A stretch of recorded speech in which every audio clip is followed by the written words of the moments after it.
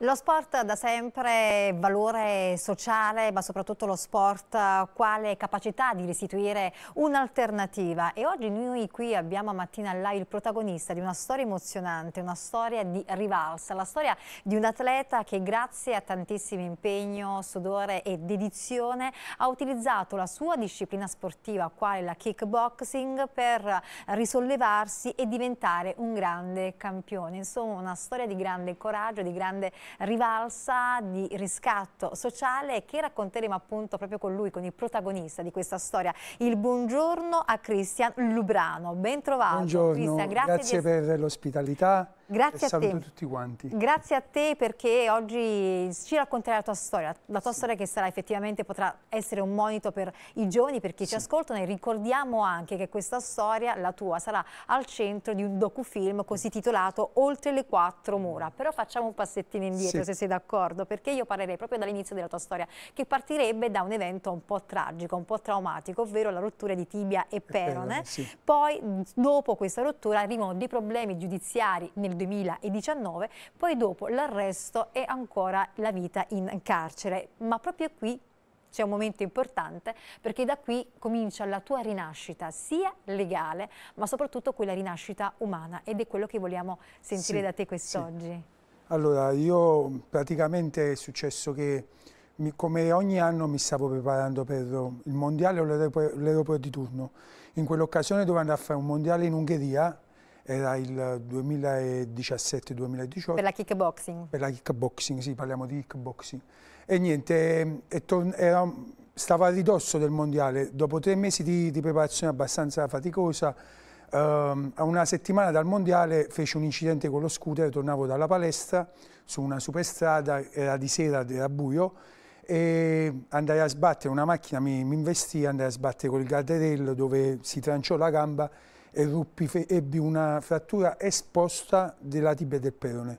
Cioè al momento vidi praticamente il, piede girato, l'osso da fuori, la prima cosa che pensai ebbi ancora la lucidità di, di prendere un, un, un, foulard che portavo appresso e di stringere. Poi fortunatamente arrivò il mio angelo custode che si chiama Tony, che l'ho conosciuto in quel momento tragico, che passò e fece fermare il traffico perché stava in, stava in curva, c'erano macchine che venivano Ad in alta, alta velocità. velocità, quindi mi, mi, accostai con le mie forze pian piano e arrivò lui e facendo luce con il cellulare fermò il traffico e poi venne l'ambulanza. Da lì incominciò il lungo calvario, cioè praticamente sono stato otto mesi con un fissatore esterno che purtroppo, ahimè, dopo otto mesi di questo fissatore quando me lo tolsero mi trovai una gamba, cioè il piede storto di 21 gradi, non, cioè non fu messa bene in asse la tibia, al che quindi dovuto, mi hanno dovuto rompere un'altra volta, andai, sono stato spostato in un altro ospedale e ringrazio il dottor Castaldi che mi si lì che era una gabbia circolare che ogni giorno dovevo avvitare con i penni per addirizzare Doloroso, la gamba. presumo. Altri otto mesi, altri otto mesi di questi Finito questo che ho tolto, il mio primo pensiero era quello di tornare a combattere, quindi incominciare la fisioterapia, riprendere un'altra volta perché il muscolo aveva perso la tonicità, certo. quindi era, tenevo una gamba proprio magrolina, eh, sì. e incominciare ad allenarmi, incominciare ad allenarmi e anche poi dopo è successo che un'altra disavventura, ehm, mi trovai a, verso le 4 di, di, notte i carabinieri a casa. Eh, Vediamo le immagini del sì, campione sì, che sei? Eh, alle 4 di notte mi vennero a prendere i carabinieri a casa con un mandato di 800 pagine e mi trovai coinvolto in questa situazione giudiziaria in un'associazione un ehm, camorristica. Vabbè, questo è stato, ci sono voluti un anno e mezzo per uscire fuori da questa cosa assolto dall'associazione e quindi mi, uh, questo anno e mezzo diciamo, è stato un percorso perché comunque da ragazzino io i miei errori li ho, li ho fatti. Quindi diciamo è stato il, il nocciolo della, della, mia vita a, a passare quell'anno e mezzo in carcere dove... Uh, dove, è dove, dove la tua rinascita? È stata la mia rinascita perché stando lontano dagli affetti, stando lontano dai miei genitori ormai anziani, ho perso anche papà per via del Covid, non facendo i colloqui e tutto, allora Uh, diciamo lì è stata una, una, rivalsa perché poi che è successo? Siccome lì vedi la situazione che è quella che è, che comunque c'è poco e nulla. Non c'era un'alternativa. Non c'è un'alternativa, allora la via è stata lo sport. Sì. Da qui è nata ecco, questa tua voglia di, di rivalsa, questa tua voglia sì. di riscatto, però mi piace, farebbe mh, mm, mm, piacere fare ancora un passettino indietro, perché comunque prima di questo evento tragico, doppio evento tragico, eh, tu in realtà hai sempre amato lo sport. Sì, Quindi sempre. ti chiedo quando nasce questa tua passione per lo sport e se in questo percorso hai avuto accanto a te una persona determinante che ti abbia aiutato no, nel percorso. Sì, allora il io ero piccolino, vedevo con mio padre i film di Bruce Lee. Diciamo è stato l'artefice Bruce Lee. E avevo i miei 5-6 anni, al che mio padre mi chiese che sport volevo fare. E io gli chiesi di fare il Kung Fu, che poi in Italia ancora doveva arrivare. Era l'82, entrammo in una palestra di karate e, e incominciammo con il karate. Poi dopo qualche anno arrivò la kickboxing in Italia, chiama, lo chiamano il karate americano, e, e, da lì incominciamo a praticare la kickboxing. Quanti anni avevi? Avevo sei anni, ho incominciato a sei anni, poi a 8-9 anni abbiamo incominciato con la kickboxing. Abbiamo incominciato a prendere tutte le cinture, incominciato a fare le gare regionali e tutto. Quindi uh, mio, eh, lì, io quando sono entrato in questa palestra, cioè capitai che entrai con papà per vedere la palestra e stava, stava facendo l'esame del secondo dan il mio maestro attuale, Lello Aracri, che fece un calcio al volo con una spaccata ruppe le tavolette di legno che mantenevano i sì, due colleghi. Sì. E quindi rimasi affascinato, ho detto papà, vedendo sempre Bruce Lee per televisione, poi vedendo nel reale la situazione, io, voglio papà voglio fare questo, voglio fare questo.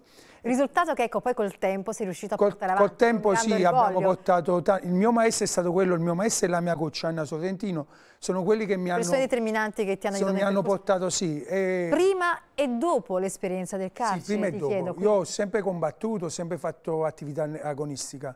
Abbiamo incominciato con i regionali e interregionali che portavamo sempre risultato e poi abbiamo incominciato a vincere anche a livello nazionale poi siamo andati a livello internazionale. E poi infatti perché da carcere ai mondiali il gradino più alto del sì. podio agli europei di Antalya 2022. Sì. Cosa ti ha spinto ecco, anche in quel periodo un po' burrascoso, molto burrascoso anzi, a non mollare mai e a credere che proprio dal carcere potesse partire la tua rinascita, la tua rivalsa sociale Io... e poi soprattutto anche personale presumo, non solo sì, sociale. Sì, eh? io...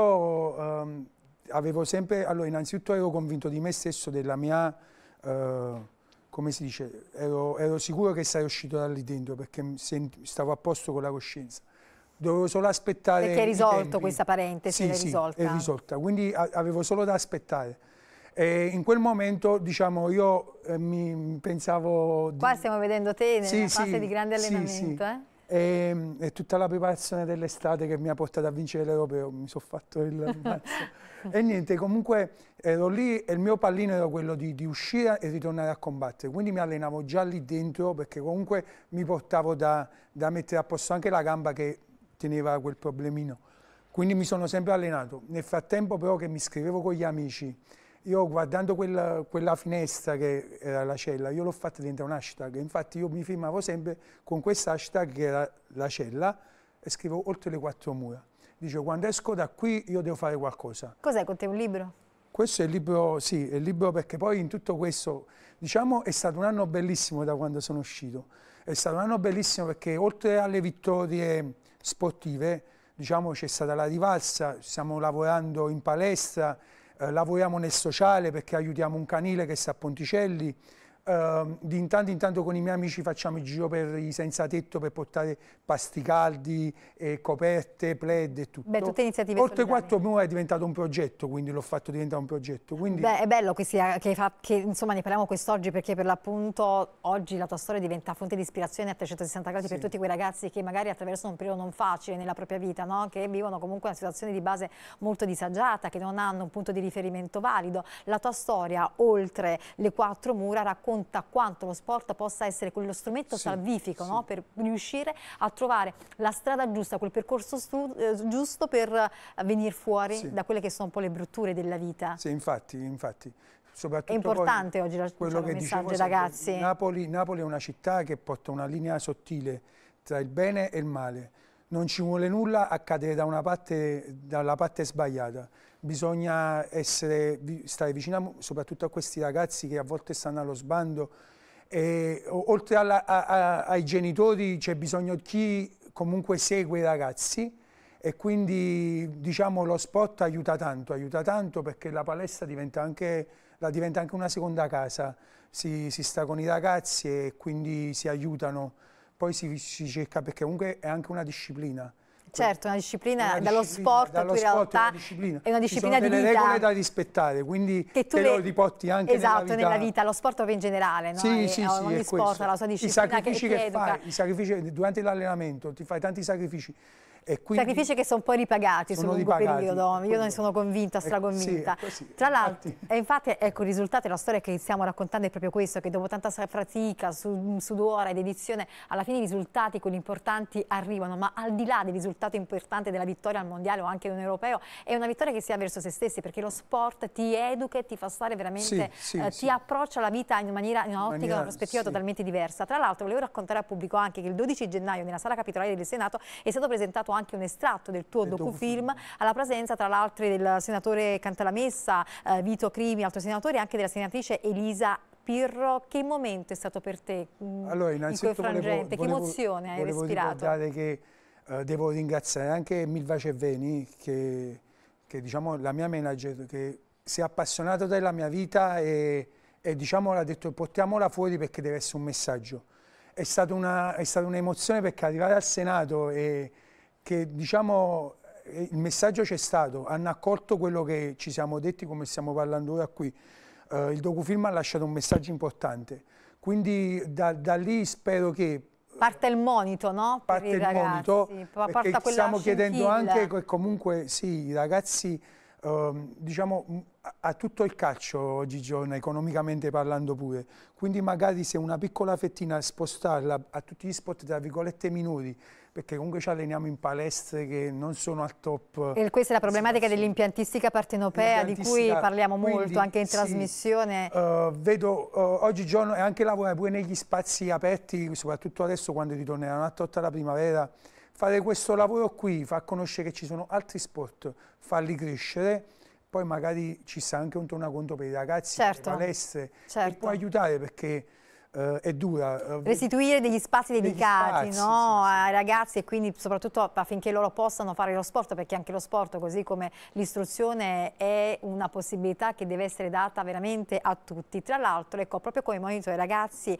hai gli stessi, no? laddove tu rappresenti una fonte di ispirazione, decidi anche di uh, pubblicare un libro, sì. fa che sia sempre la penultima volta. Ecco, questo è un altro messaggio importante. Che cosa vuoi dire con questo progetto, allora, soprattutto con questo, con questo messaggio? Sì, questo è un messaggio perché dire a tutti i ragazzi che um, anche se vedi che, che, sta quasi, che hai perso, che hai perso sia sportivamente anche sotto l'aspetto lavorativo, magari si chiude una porta, non ti devi mai che, dire che sia stata l'ultima occasione. Che sia finita. Che insomma, sia finita. Sempre... Sta, allora quindi ti dici, sia che sia, fai sia che sia la tua penultima volta, perché ci sta sempre il dopo che... C'è sempre una penultima una volta. Penultima volta che, non ti, ti fa sempre, che non ti fa raggiungere dai... la vetta, no? no infatti, è proprio quello infatti, poi la, la, la, cosa bella, insomma l'entusiasmo, proprio nel proseguire, nel proseguire. quella determinazione, Te lo coltivi, costanza. poi dopo ci sta sempre una speranza dietro che tu la devi coltivare e andare avanti. Che cosa vogliamo dire oggi ragazzi? Ragazzi, questo messaggio? Ha un messaggio, ragazzi,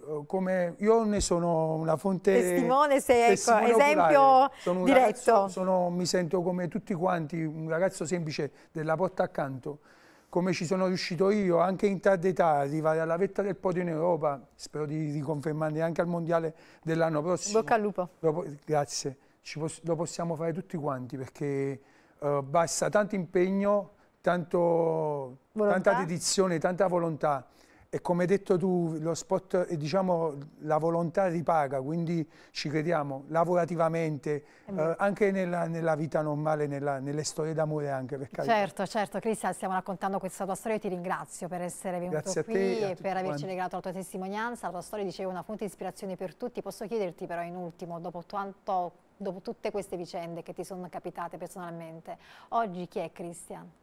Allora, oggi Christian è una persona molto più riflessiva, eh, molto più saggia, comunque ho i miei 46 anni e vedo le cose sotto un altro aspetto. Uh, prima ero un poco più impulsivo, adesso è importante anche contare a volte molto fino a 10 e, ed essere un poco più per il prossimo perché c'è tanto bisogno qui per strada oggigiorno perché siamo tutti quanti zitti, pedalare, testa bassa. È troppo individualismo. È troppo individualismo. Un po' concentrarci. È bello vedersi donarsi agli altri, donarsi come... un po' agli altri. Eh, sì, infatti. Beh, complimenti, ci grazie. sarà sicuramente ancora tanta strada che dovrai percorrere. Io intanto qui ti ho portato un cappellino. Oh, grazie. Ok, questo è tuo. Grazie, grazie mille.